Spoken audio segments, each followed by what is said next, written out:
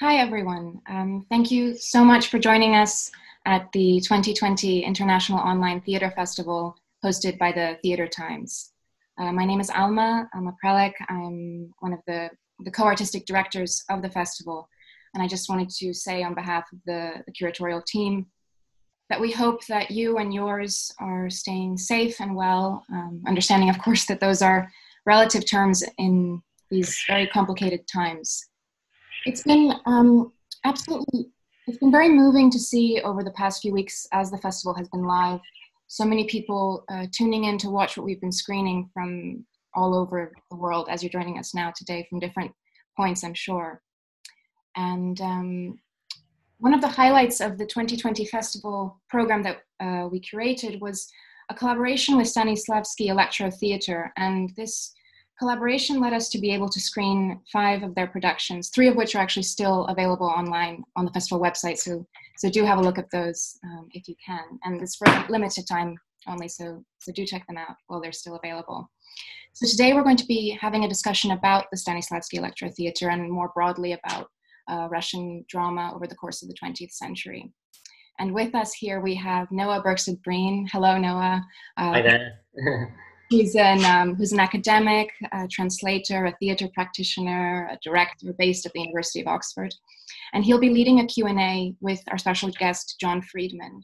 Uh, John has had a long-standing relationship with the Stanislavski Electro Theatre, as we're going to go on to discuss today and he's also a, a, prolific writer and, and critic and translator worked for 25 years as a theater critic for the, for the moscow times so we're absolutely thrilled to have both of them here with us today um, if there's time at the end of this uh, we would hope to be able to open up the, forum for, for questions so in the meantime, if you have anything that you would like to ask, please send me a private message at the um, at the Theatre Times uh, this this account that's hosting and I'll, uh, I'll add those to the list at the end. All right, well, thank you very much. And I think that's all I'm going to say for now. Over to you, Noah. Thank you. Thanks very much. Um, it's so nice to be talking to you again, John. Uh, we've met a number of times at theatre festivals and, and lovely to sort of manage to keep up that dialogue in spite of all We've met in lots of different places. No, this is the first time I think we've done Zoom. So I know. nice to try something new. yeah. um, well, I'm going to ask you obviously lots of questions about the Electro Theatre, um, about the current artistic director, and, and make sure not to miss out and ask you about your role there. Sure. I would say 2013 was quite a surprising year in Russian theatre. Um, so it's contrasted in some ways to national politics. It was uh, Putin had just been re-elected a year earlier uh, for his third presidential term. The politics could be characterized as being ultra-conservative, um, even beyond the authoritarian tendencies of the previous um, more than decade. And many people will remember um, legislation that came in that hit the international news headlines. Um, the you know law against advocating for, or as they put it, propagandizing LGBT um, themes and identities to minors, um, making it an offence to um, uh, or punishable to offend religious belief, um, sort of a thoughts crime, if you like. Um, so by 2013, the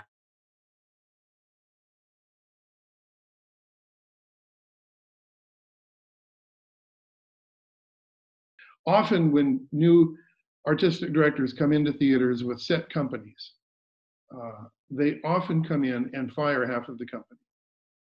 Boris came in and told everybody that they all had jobs. No one was leaving.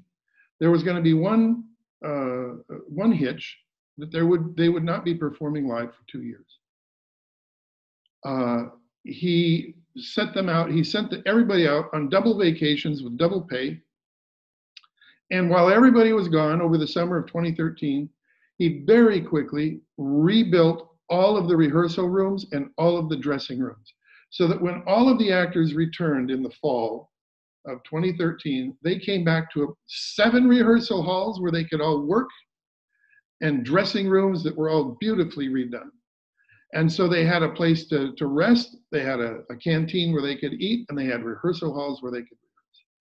And he set everybody rehearsing, brought in, he started rehearsing, he brought in uh, some of his other friends uh, uh, from the Vasiliev School to start rehearsing.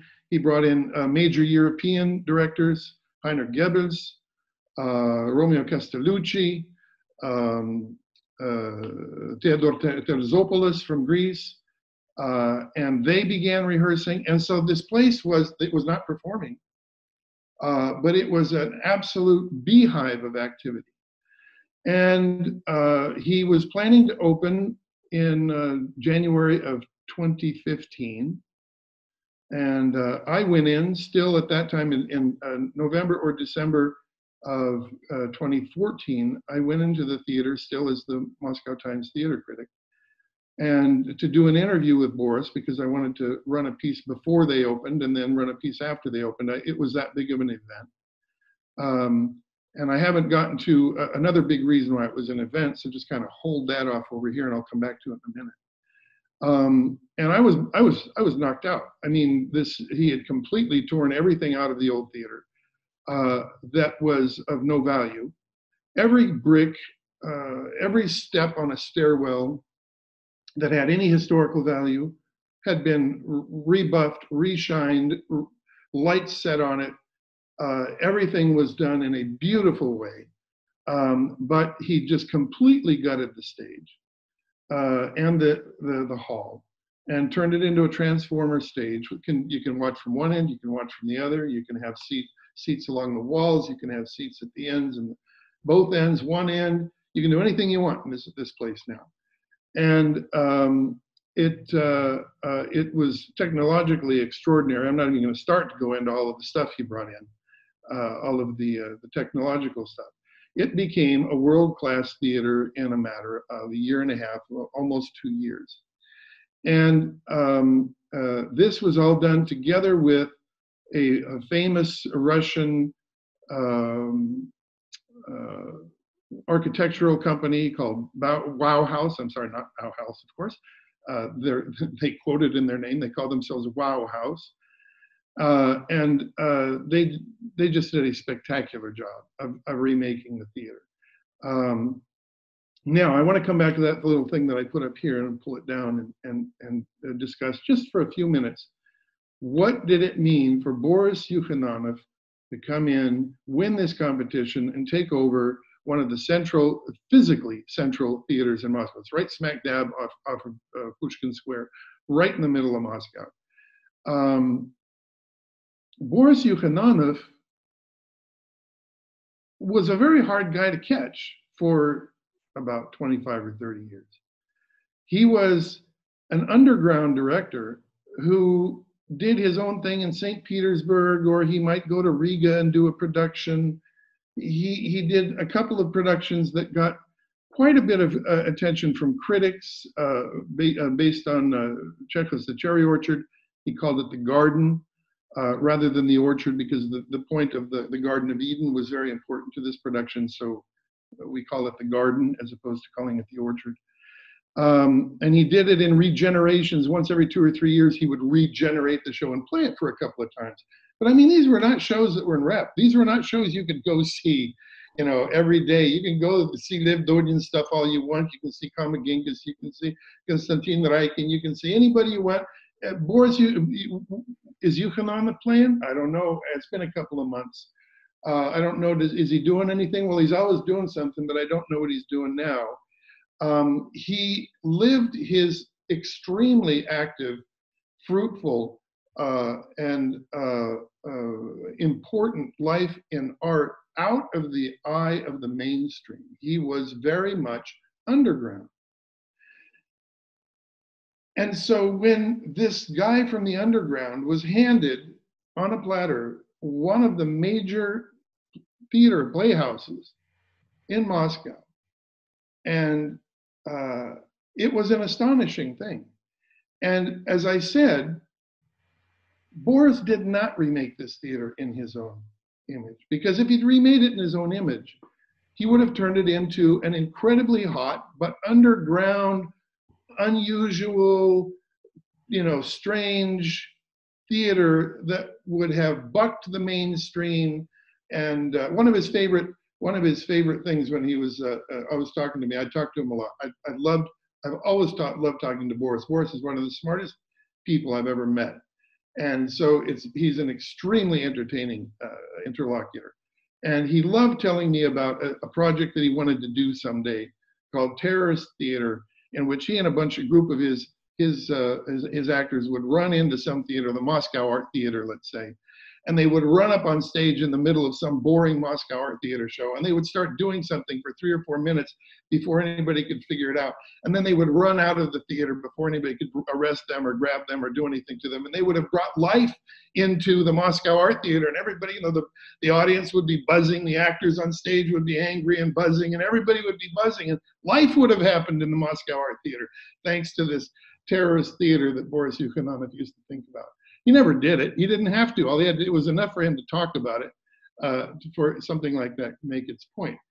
Um, but I think it's important to, to, to bring up the, the, the fact that this, this very unusual, uh, uh, very powerful artist uh, was from that part of the creative spectrum and now he's got this theater with a uh, hundred actors and you know a huge team uh, lighting people and you know that it's, he's, he's running a, a, typical normal theater. And he immediately set out doing it differently. His first show that he opened uh, was uh, actually even before the theater opened uh, uh, romeo castellucci opened a, a, show even before the theater actually opened. And then the, then the theater opened with, uh, officially opened with production by Ter, uh, Terzopoulos. Within a few months, they had their third show, Goebbels, uh, Max Black, uh, up and running. I want to point out another thing uh, that's really important to understand about Russian theater and why what Boris did is, is unusual and important. Everybody knows that Russian theaters are despotic are run by despotic directors. That's it's it's part of the the tradition. Uh, everybody knows that Russian directors are jealous as hell of other directors. Uh, it uh, I remember talking once to Roman Kozak, uh, uh, another uh, Moscow director, and he was talking about letting Declan Donnellan come in and do something on his stage. It was when he was just starting to run the Pushkin. And I said, "Wow, Roman!" I said, "That's a great idea." And he says, "You think so?" And I said, well, of course it's a great idea. I said, you know, everything that Donnellan brings to the theater, that accrues to you. You're the guy that invited him. You're the guy that runs the theater. So all of his success accrues to you. And if it's not a success, you didn't do it. It's, I said, it's, it's, it's, it's wonderful. And he goes, oh, I don't know. I don't know. I don't know. He did it. Uh, he uh, uh, ended up inviting Donnellan and it worked well. But the point is that Russian directors are not good at bringing in other directors into their space. Boris Yukhananov took over this new theater, started to do a whole, he gutted it, redid it, started doing it in a whole other way, and opened it with productions by a guy from Greece and by uh, a, a, guy from Italy and a guy from uh, uh, Belgium. And it was, you know, that was that was an incredible statement which allows me to come back to, and I'm going to wrap this little uh, monologue up here in a minute, but it comes back to your point about the politics of the time. Because this indeed was a period when Russia was beginning to close down again. I mean, we've we've now reached 2020, and you know, Russia is almost under lock and key. It's uh, uh, the difficulties there are enormous, but uh, it was just beginning when Putin returned as, as president for the third, third time. And it was just beginning to close down and, and notions of, of, you know, oh, do we really need Europe? And, you know, the, the, the, the lovely phrase that, that Russian idiots love to use, gay Europa. We don't need gay Europa, uh, meaning Europe, uh, and, and that kind of thing. And Boris opened up his theater by, by saying, you know, I've got a guy from Italy, I've got a guy from Greece, and I've got a guy from Belgium. I'm part of the world the world is part of us. We're all in this thing together, and we're gonna from here on out we're gonna work together. And it was uh, uh, it, it, was a, an amazing thing actually. Within within uh, uh nine months, I had I'd left my job where I was, and I I went to work for Boris. Amazing. Thank you. So you you brought up the theme of the kind of um, the, the, vision he brought to the theatre, and one of the two things was this notion of being a European theatre, as as you've already spoken about. Um, and the other thing um, was he was talking about going back to the spirit of the original theatre under Stanislavski, uh, the opera and, and drama studio, um, breaking down that notion of opera and, and drama as two separate uh, artistic genres and looking at um, at them as something which uh, enrich each other and, and confuse together. Um, perhaps you could, you know, partly say a little bit about that. Um, yeah, there's a, there's also, a, uh-huh. yeah. Oh, sorry. J- just also, um, sort of, in a way, why it matters in the Russian theatre landscape. Um, you know, are there other theatres doing this, or, or is this really quite uh, unique the way it's happening? Um, it's an interesting thing. Uh, it's an interesting historical thing that uh, Stanislavski worked at this actual plant where the uh, Stanislavski Electro Theater is now located. He he ran his opera and, and, drama studio out of out of this place for a short while, not long, but he was there. Historically speaking, Stanislavski was there. It's one of the reasons. It's the reason why the theater was called the Stanislavski Drama Theater in the past it's uh, the reason why Boris kept Stanislavski in the name of the theater when he took it over, calling it the Stanislavski Electro Theater. And briefly, I will just say that the re- why Electro Theater. Well, it's basically two reasons. First of all, you know, Electro Theater is kind of cool sounding. Sounds like a place that's quite electric, you know.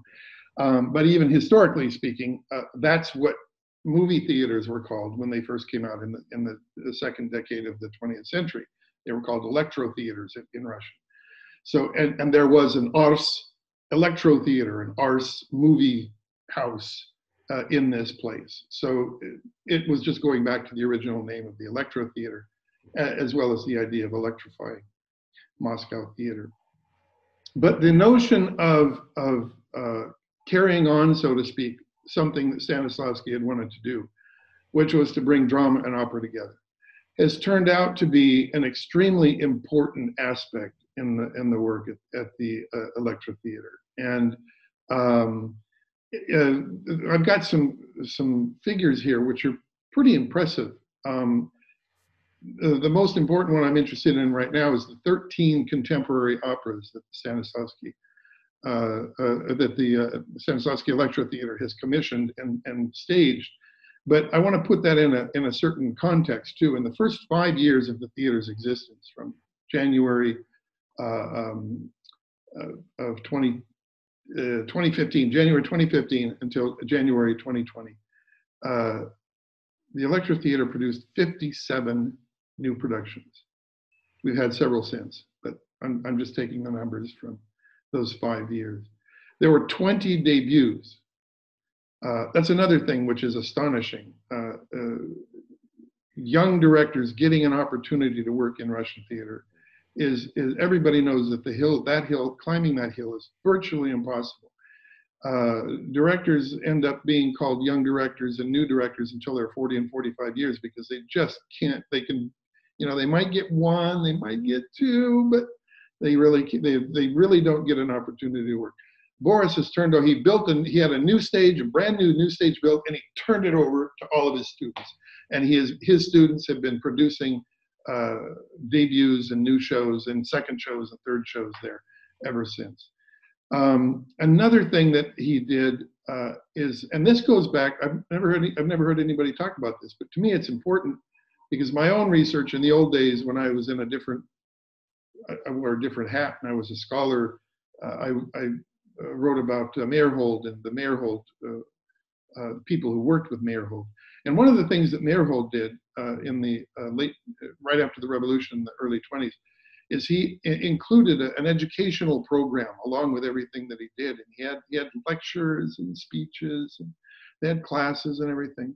Well, uh, uh, Yukhananov uh, uh, got uh, hired a woman who was one of the best Russian critics, Kristina Matvienko and he asked her to uh, put together a thing called the it was at the beginning it was called the electrozone uh, and then most often we now call it the school of contemporary spectators and listeners.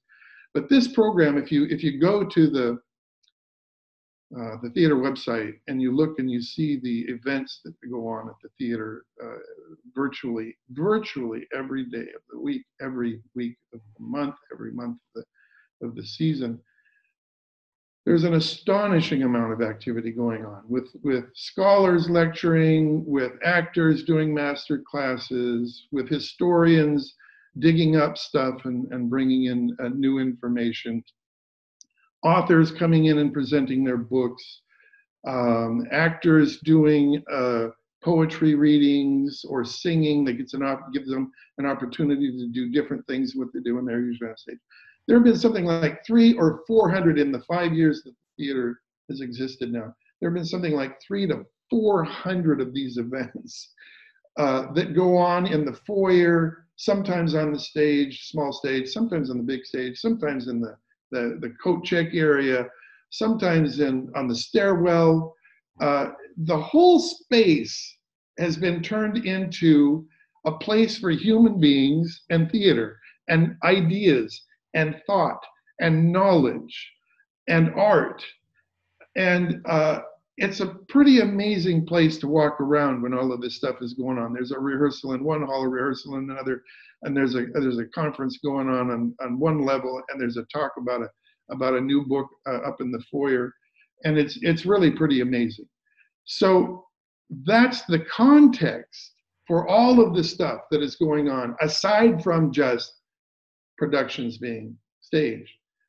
Uh, is the 13 are the 13 operas contemporary operas that have been commissioned from living and when i say they're living these guys all of these guys are younger than you and i are uh, noah i mean these guys uh, they're you know they're brand new babies coming up and they're being they're having stuff commissioned they're getting their works done they're winning awards they're winning awards in europe um, uh, uh, the Stanislavski Electro Theater work with contemporary opera has yet to be uh, understood fully. I, I, I, have a feeling that down the road, uh, whether it's 10 years or 30 years, if we're lucky to make it that far, uh, when people look back, uh, this will be one of the most extraordinary um, efforts on the part of a, a Russian theater to mix genres,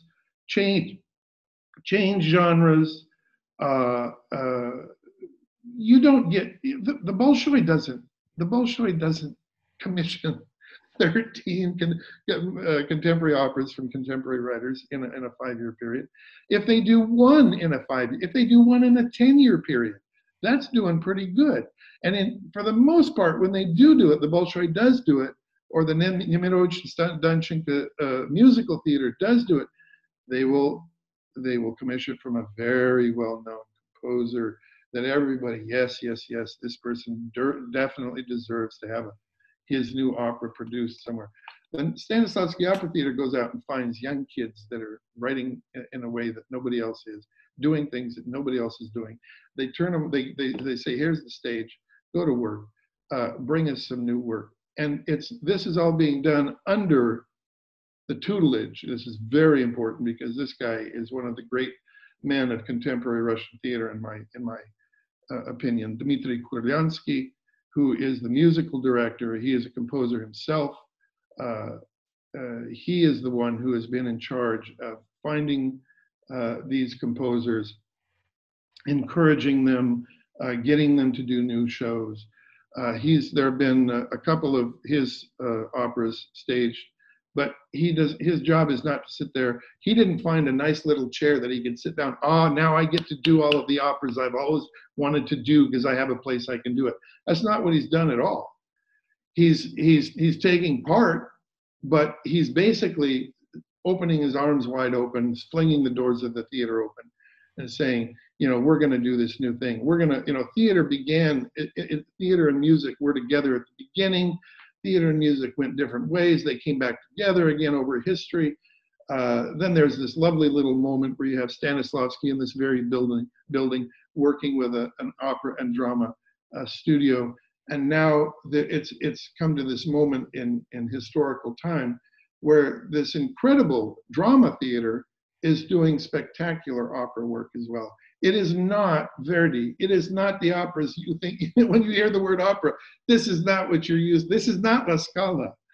This is contemporary opera. It is very, very, very different. It has a lot of there's a lot of dramatic theater in it. There's a lot of installation in it. In fact, one of the operas that was was actually composed by Kurlyansky, uh, directed by uh, Um, uh, it's it's actually been showing, or it might be shown, Octavia Trepanation uh, in this festival. Uh, it's part installation, part uh, fashion show, part opera, part drama, part historical. Uh, uh, it's it's it's it's fabulous stuff, very unusual stuff. So this is this is really really um, one of the most important uh, parts of the theater is its work with contemporary opera. Thank you. That's fantastic. Um, I was wondering, this, this question is maybe a little bit more for those without the specialist knowledge, but I think still you know, really of interest to, to scholars of, of Russian theatre. Um, just to think about cultural difference and um, what, what a director stands for in Russia. Um, you know, perhaps there's a, a dominant sense in Britain of the director as interpreter, still completely creative, but someone interpreting a text. Um, and in Russia, it's sort of generally, particularly those top directors, tend to think of themselves as pedagogues as well, as philosophers, um, perhaps poets sometimes as well, and authors. Um, and I mean, even just sort of going, going looking on YouTube today and just uh, finding a few interviews with with uh, Boris Yukhananov, um, you know, some fascinating things like that, that, anyone can hear him saying. He's in one video, sort of uh, constructively, but nevertheless berating a young, a young, I think, as a film film director, and uh, sort of warning him off television, saying that's Satan. Um, he talks about, you know, the, the director is, is the one who finds the inner poetic life of, of people. Um, can you say, I mean, I, potentially a little bit broadly about Russian directors, but of course about uh, Boris as well, um, yeah. sort of how he sees himself as a director, what, what that means to be a theatre director in, in Russia and, and for him? Well, I think it's important to say right off is that when Boris uh, took this job on, he immediately announced that this theater will be a director's theater. It was very important for him. And in fact, uh, it, it creates problems for me as the translator of, of everything that is produced. All text that is produced in the theater, I translate at one point or another. Um, and it creates problems because the, the tradition in the US is to say Anton Chekhov's The Cherry Orchard as directed by, you know, Joe Blow. Um, and uh, at our theater, in Russian in any case, they write, they write Joe Blow's The Cherry Orchard, uh, staged it, according to a text by Anton Chekhov. And it's so when you they you know the the the attitude immediately in this theater is a director centric. Russian theater in general is director centric. I mean, uh, you actually, in your little talk here just a few minutes ago, you did a very good job of, of laying that out. That, uh, uh, and if you go back in, in history, you know, Stanislavski, I don't have to say anything more. Meyerhold, I don't have to say anything more. Yuri Lyubimov, I probably don't have to say anything more. Those are names of great Russian directors who, uh, you know, changed the course of the, the theater, world theater, uh, in which they work. And uh, Boris uh, Yukhananov, as a student of Anatoly Vasilyev and another great Russian director of the time, Anatoly Efros, he is uh, very much in the, the, the, tradition of a strong Russian director, as you said, a philosopher, as, as the one who is searching, searching for the human soul in the actor and in, in the character. Yeah, very much so. I mean, that sounds very much like economic to me. Um, it is uh, uh, always a theater that is corresponding to the vision of the director.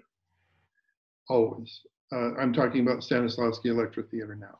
But I could also actually be talking about uh, Russian theater in general. There have been a few theaters here and there. Most recently, the probably the most famous one was Theater Doc, uh, which was a play, which was a, a, write, a theater for writers. but even there, you know, when you go back over the best productions that were done at Theater Doc, uh, those were Russians that were staging those shows, and they were very strong directorial viewpoints. Mikhail Ugarov, who was a writer uh, and is the one who proclaimed the theater uh, uh a, a, a, writer's theater, his uh, productions were very strong in, in, in terms of the, the direction. Um, I could go on and on, but that's getting off into another topic. I just want to point out that even a writer's theater, self-proclaimed writers theater recently in Russia was also also had very strong directorial uh, uh, work. Um, that is the that is the system. That is the tradition. Um, a, a, little a tiny little story. I remember uh, sitting in the theater union back in the early 1990s, and everybody hated everything at the time, and everybody said everything was bad, and there was nothing good and there were no writers and there were no no new directors and everything was dead and everything was awful. And i was just a you know bright-eyed kid from the united states sitting there like in this this luxury of incredible theater all around with with good writers and great directors and wonderful actors and a, a woman I, I, said to a woman the woman that was telling me how, how terrible everything was you know I, I said to her i said well you know i, I don't quite agree with that i think there's uh, there's quite a few interesting directors right now working. And before I could start naming somebody and saying something, she goes, "Oh, she says, there's no directors." She says, "We Russians, we expect Meyerhold every time we go to the theater." Well, yeah, they, there's something to that. They do they do expect Meyerhold every time they go to the theater. Many of them, anyway. Uh, maybe things are changing a little bit, but I don't think that much. I think that in terms of an anecdote, it's still a it's still a useful anecdote. It's still it kind of gives the temperature of the place.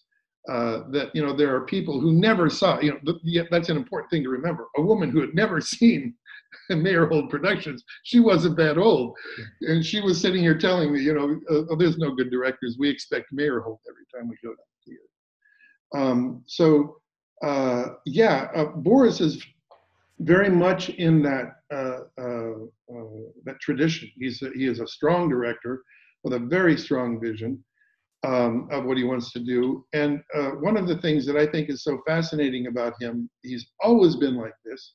And this is the one thing that he's carried over into his new life, if you will, is is the the, the head of a of a popular, important, mainstream, um, yet cutting edge theater. Is that he loves big. Boris loves big he did a film once. He did a, a, a video film that uh, was called The Mad Prince in 1,000 cassettes. Cassettes what, went, ran what four hours long. So you figure four out 4,000. This film that he did called The Mad Prince ran 4,000 hours. Uh, he often does shows that run two, three, four days. Uh, several of his shows, uh, The Bluebird, uh, based on Maeterlinck, and Russian history, late uh, recent uh, Russian and Soviet history, runs three days.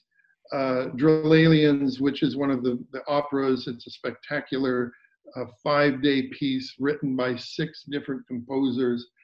Um, that, as I say, runs over five days. It's a six-part piece that runs over five days. Many of his shows run two, three days. He loves big. He's he he has a, a knack for just pulling off incredibly big things. Um, and uh, it's obviously it's not just a matter of size, uh, but I don't see any other director in the world. I don't see any other director in the world. And I'm if I'm missing something, if there's somebody on here and, and you can tell me about them, I'd love to hear it. But I personally don't see any other director in the world that has this this sense of scope, this sense of, of, of hugeness that he brings to his art. And um, uh, only a director, I mean, only a strong director could do something like that. You know, this this isn't you know just playing around with actors' improvisations or uh, something. This is you know you've got to have a vision to come in and say I'm going to do a five-day show of six operas or a three-day show turning a a children's play, Maeterlinck's The Bluebird, turning it into a three-day uh, uh, explication of, of recent Soviet history uh, and and uh, the, the life of the two main actors in the theater. It's a beautiful combination of children's theater and a very, very difficult uh, historical uh, uh, work.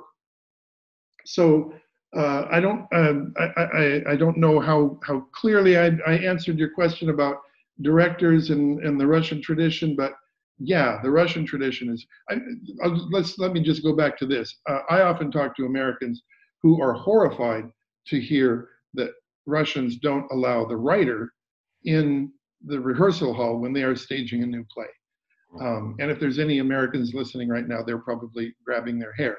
Not, but it's not only do the Russian, Russian directors not let the writers into the hall, they tell them to keep their asses away until after the premiere. You have nothing to do here until I open my show because the show is the directors in Russia. It is not the playwrights. Yeah. Yeah. Now you can, you know, that can be argued until we're all blue in the face, but that's the way. Thank you. Um, I have, I could talk about this all day with you, and I have lots of questions, but I want to give a chance to other people. They've asked some questions. We still have 15 minutes. I think what I will do is just mention that you have written a brilliant article uh, which addresses other subjects that we probably won't necessarily get onto right now. Um, and it is called Boris Yukhananov in Space and Time. It's, I mean, you can just Google it and find it. It's in the, uh, the Sonographer journal from 2019 maybe when you're answering these questions, I can pop it onto the group chat to everyone. So in case anyone wants to follow up on it, they can take that, that, that search term and just put it in Google and read your article, and they'll find much more information about specific productions and, and, and more about what you've spoken about here. So I don't have to feel uh, worried that I didn't get to sort of mention certain things or ask you to mention certain things. But let me um, ask, tell you what question, which questions have come in, so we can give the viewers a chance to have their um, questions asked. And I'll do what I'll do is I'll ask you three in one go, and then you can uh, sort of address those. I'm sure in the time we've got. So the first one is: um, Does Putin watch the Stanislavski Electro Theatre? No. Okay. Um, all right. it is an interesting question, actually. I have to stop myself. I'll come back to it, but no. but, uh, Oleg Tabakov, the former director of the Moscow Arts Theatre, once said, "I am a I am a civil servant." Uh, he said it tongue in cheek, but of course, as you said, they are appointed by the government. So it's an interesting question about how an artistic director finds freedom, I suppose, from the authorities. But in any case, second question: um, How was the filming process? They are beautifully shot somebody says. I'm sorry, I don't know the, I don't know the names. Forgive me for that. And the third question: uh, What is the Electro Theatre's relationship to other major theatres of Moscow, the Moscow Arts, um, Moscow Arts Theatre, the Gogol Center, the School of Dramatic Arts, etc. Uh, does Putin watch the Electro Theatre? I doubt that very seriously. Um, if, if, we're talking about that strictly as a, as a question as posed um, in the 25 years that I covered Russian theater, I saw I saw Putin in theaters twice. Uh, one was the Sovremennik, um, and the other was uh, Konstantin Raikin's Satyricon. He showed up for uh, Konstantin Raikin's 60th birthday party, and the other one was was for uh, Volchek, Galina Volchek, who was the artistic director of the Sovremennik Theater. It was for one of her jubilee, jubilee uh, uh, productions. So Putin tends to show up at the theater when there's, you know, somebody is to be honored. Uh, I, I, don't think that's going to happen in the near future at the, the Electro Theater. If if we were to veer off into your question, your interpretation of the question as Tabakov saying I'm a civil servant, um, uh, Boris Yukhananov is the kind of guy that whatever I would say he would do, if he were to show up, he would then just do the opposite, of course. So um, I don't want to try to I don't want to try to speak for Boris, but I want to try to answer your question in in in terms of Yukhananov. I don't think Yukhananov sees himself as a civil servant at all. Uh, uh, sees himself uh, strictly and for, first and foremost as an artist, as someone who is has been given the responsibility and the privilege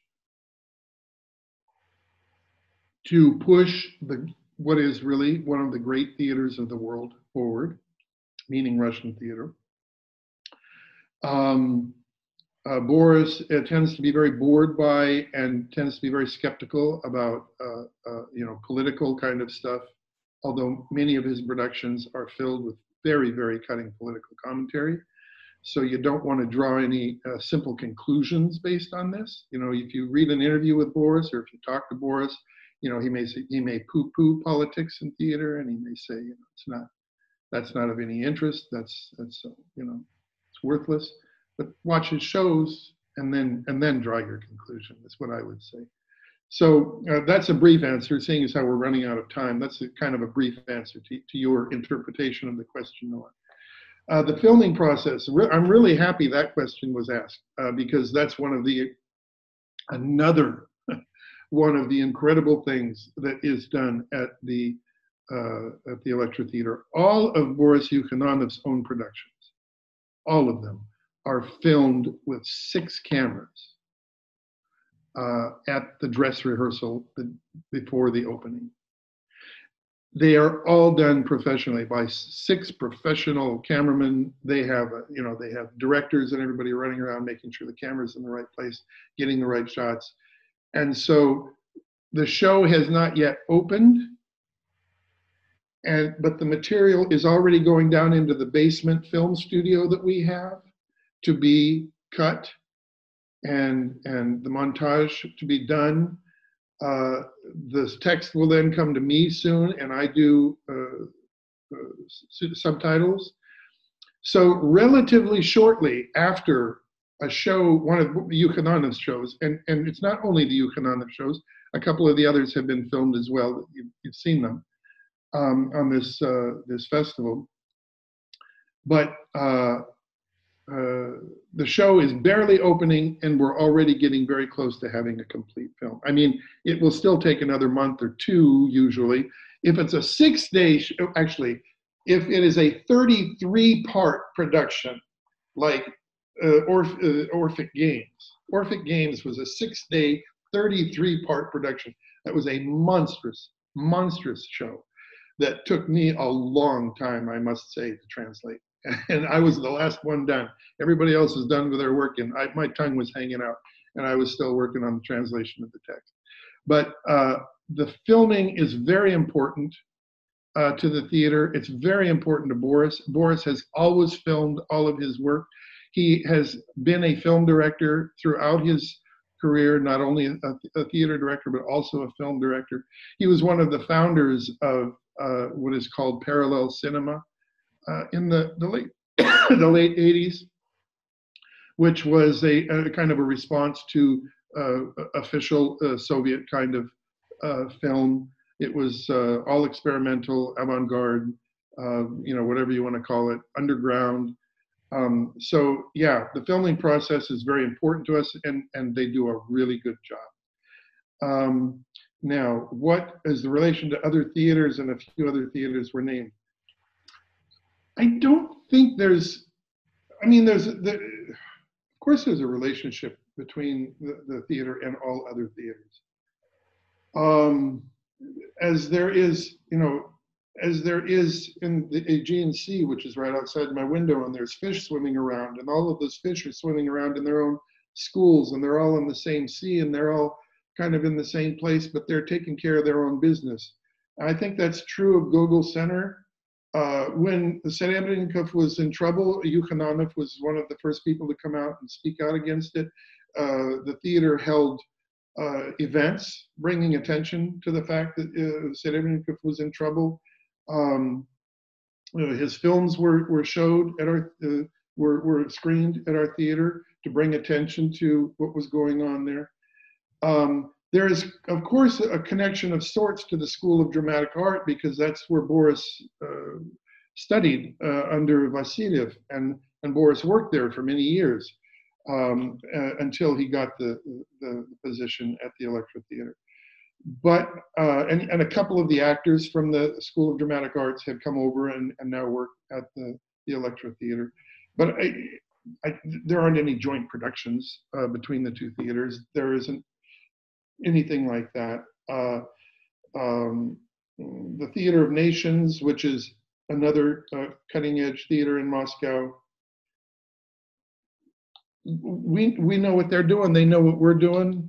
Uh, uh, you know, it's kind of like you walking by each other on the square and you, hey, how you doing today, guys?